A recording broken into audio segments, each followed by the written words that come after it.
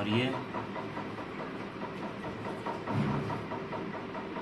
मछली के आगे से दिखती है जैसा कि आप किस तरह से ये।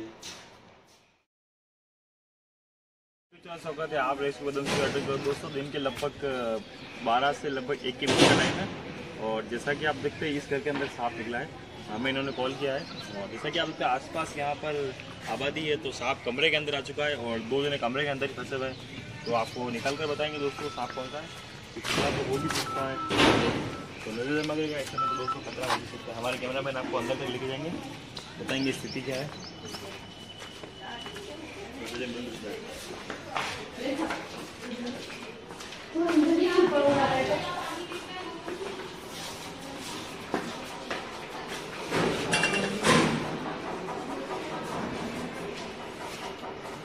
देख सकते हैं ये इंडियन रेड स्नेक है, जिसे आम भाषा में लोग दामन सांप कहते हैं, जैसे कि आप देखते हैं, ये घर के अंदर आ चुका है और अगर आप देखते हैं लोग डर चुके हैं। दूसरे सांपों के मुकाबले कितने ज़्यादा अलग होते हैं। जैसा कि आप कोबरा में देखेंगे, बिल्कुल प्लेन एक ब्लैक पैटर्न होगा। इसमें थोड़ा सा अलग होता है, जैसा कि आप कलर देख सकते हैं, पीछे हल्का सा ब्लैक ब्लैक आ रहा है और आगे की तरफ़ आता है, वो ब्राउन हो जाता है। तो ये इस सांप की खासियत होती है कि ये सांप अनुमम इसी तरह से बड़ा भी होता है और इसी तरह से। इसका बच्चा जो होता है दोस्तों, वो एक कलर में ही मिलता है। पर ये जो सांप बड़ा हो जाता है तो आप देख सकते हैं इसकी पूंछ से लेकर स्टार्ट होते हुए लास्ट स्केल तक थोड़े से थोड़े स्केल आगे से आगे बदल, बदलते जाते हैं। ये सांप जहरीला नहीं होता, पर ये चूहों, गिलेरियों का शिकार करने में बहुत माहिर होता है। पेड़ों पर चढ़ने पर बिलों के अंदर शिकार करने के लिए ये मशहूर है। और जिस तरह से ये शिकार करता है, काफ़ी फुर्ती से ये हमला करता है। सामने वाले को जिसका भी चूहों का शिकार करता है उसे मौका नहीं देता इसलिए इसे रेड स्नेक कहा जाता है और हिंदी में इसको लोग दामन सांप और घोड़ा पछाड़ भी कहा जाता है क्योंकि ये घोड़ा पछाड़ इसलिए क्योंकि ये इसको पकड़ने के बाद अनुभव आपने देखा होगा किस तरह से ये आगे पीछे मूवमेंट करता है जिससे कि हमने हेड पकड़ के रिवर्स पैकिंग करी तो जिस तरह से हिलता है उस हिसाब से घो, से घोड़ा पछाड़ कहा जाता है। ये देखिए दोस्तों ये देखिए ये इसका मुँह है। और इसकी जैसे कि आखिर का मछली की आँख जैसी बिल्कुल दिखती है। और ये मछली की आगे से दिखती है। जैसा कि आप देख सकते हैं, इसकी लंबाई लगभग कम से कम 11 से 12 फीट के लगभग होती है।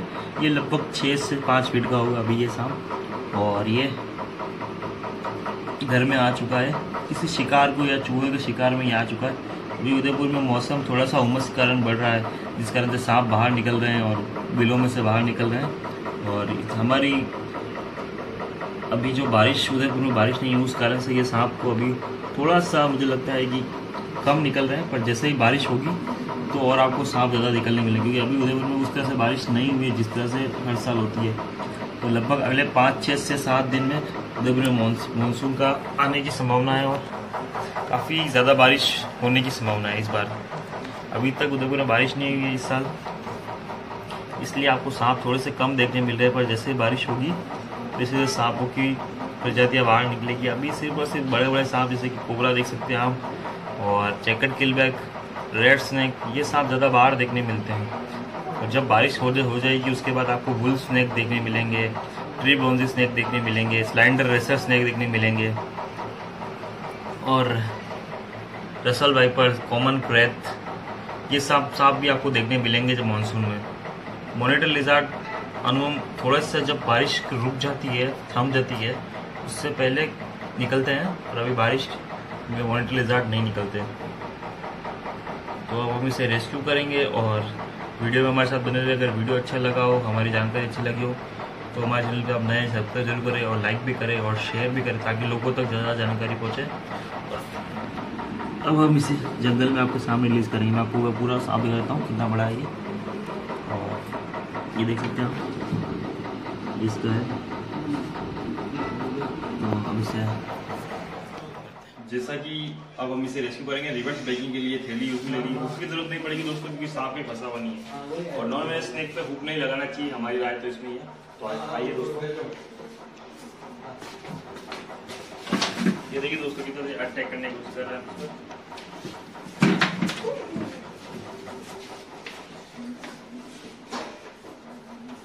खुले में लेके जाता हूँ दोस्तों। साइज़ में छः फीट की लगभग पाँच फीट इसकी लंबाई है घर के चुका है देख सकते हैं आप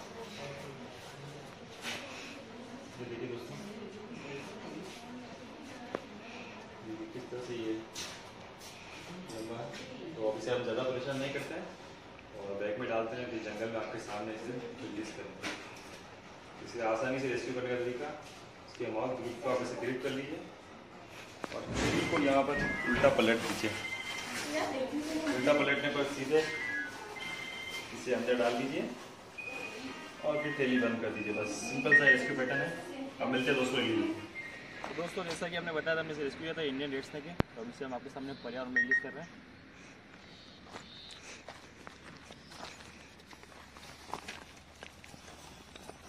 तो जैसा कि देखते हैं, ये बिल्कुल खुला मैदान है। और सांप के लिए बिल्कुल नेचुरल हैबिटाट जगह है। जैसा कि आसपास एकदम बिल्कुल हरियाली है, कोई दिक्कत नहीं तो हमारा वीडियो अच्छा लगा हो तो लाइक करें, चैनल पर नए सब्सक्राइब ज़रूर करते हैं। दोस्तों, मिलते हैं अगली वीडियो में, आज के लिए इतना ही।